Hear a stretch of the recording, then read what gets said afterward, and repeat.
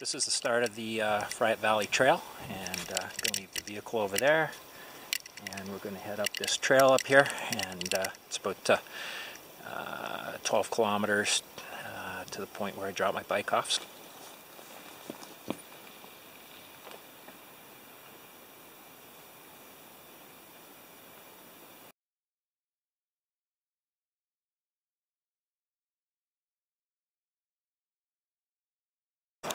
This is about uh, seven and a half kilometers into the uh, uh, the trip up the trail, the bike ride, come up from that way. And uh, this is the uh, Athabasca River.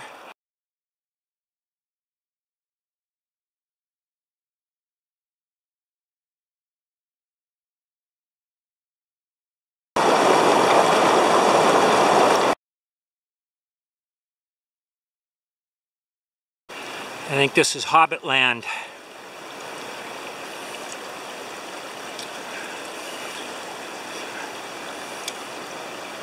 The water's just coming down through the trees there.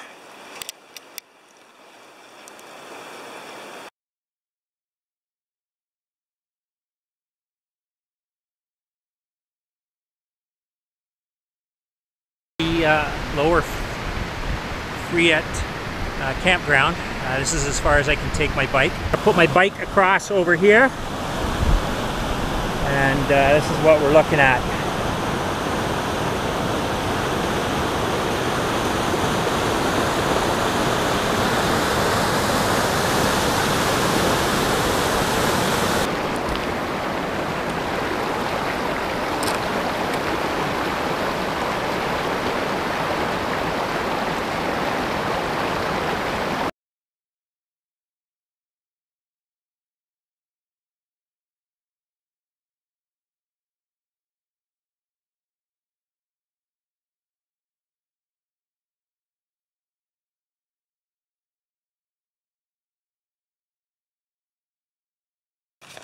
It's just before 6 o'clock. I got here about 5 and started setting up and uh, a few uh, raindrops were coming down as I was setting up and uh, it's just moved right into the valley and uh, got everything set up just in time but uh, this is what we're looking at right now. Pretty socked in. There's uh, lightning, lots of thunder.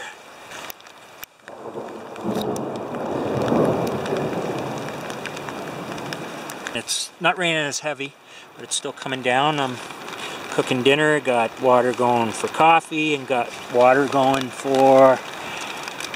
Gonna have southwestern style masa with beef.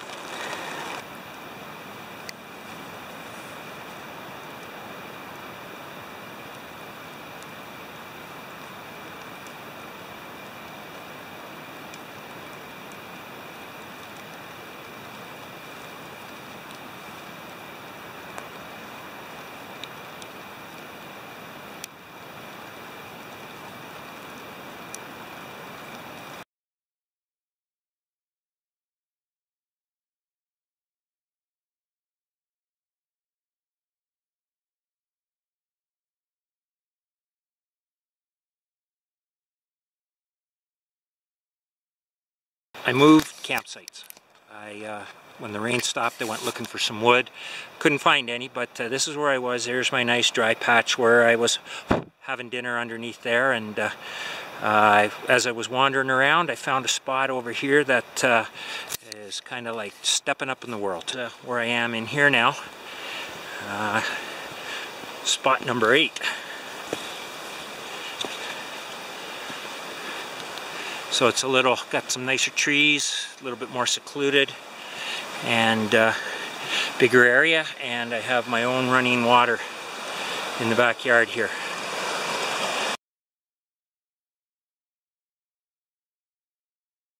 Uh, about 9.30, I don't know if you can see me here or not. Uh, it's raining again, you can hear that. Uh, just have been a good day, uh, saw a few people on the trail and uh, uh, when I was coming up, I saw uh, two groups coming out and uh, a couple of park rangers uh, doing some trail maintenance, cutting uh, some logs down that were across the trail just ahead of me, so it made it a lot easier on the bike ride in.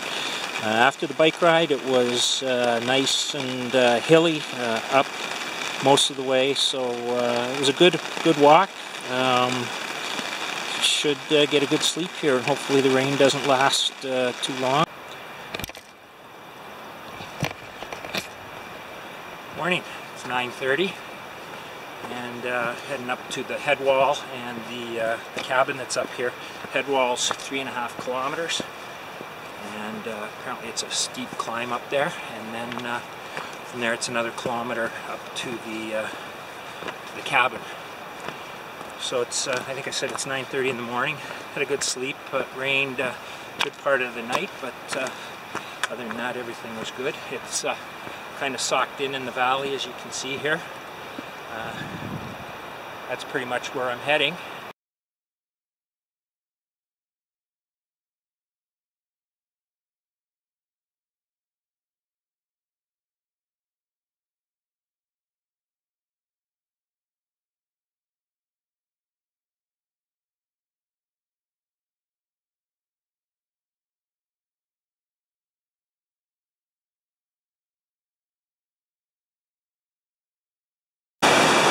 So hopefully you can hear me.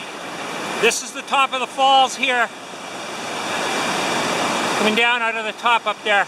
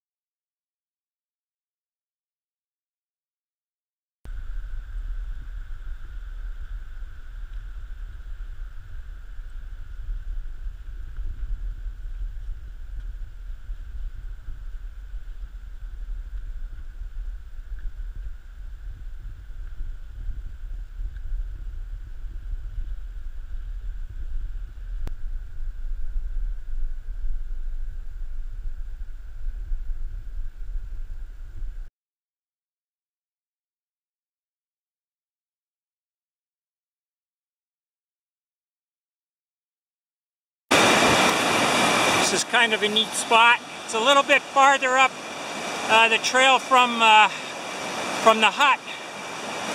But uh, I came across four guys came back in. They had just come back from here and said it's well worth going up. That's pretty awesome looking at that right there. Just flows right in.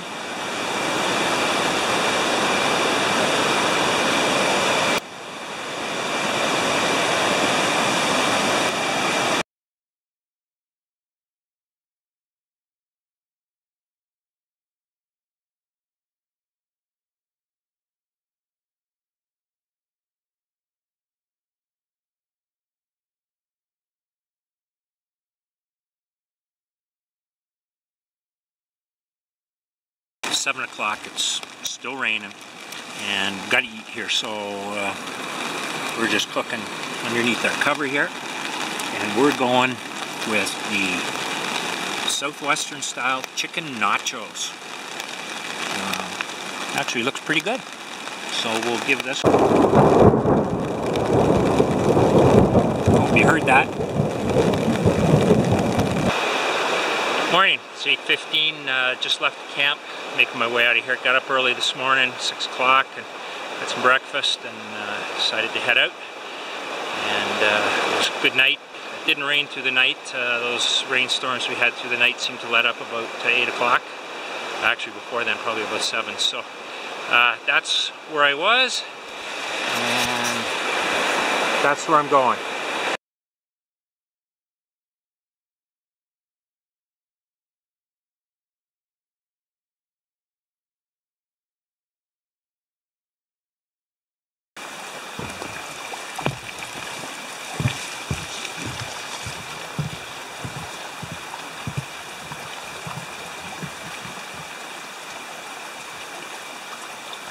So at the Lower Fryatt campground now uh, after my hike out. Uh, from here it's uh, about a 12 kilometer bike ride. Uh, and just uh, like I thought, about two hours to hike out of there. Uh, passed a couple guys going in there and it was a good hike. It's downhill all the way, which is really nice. So yeah, it's a nice spot here.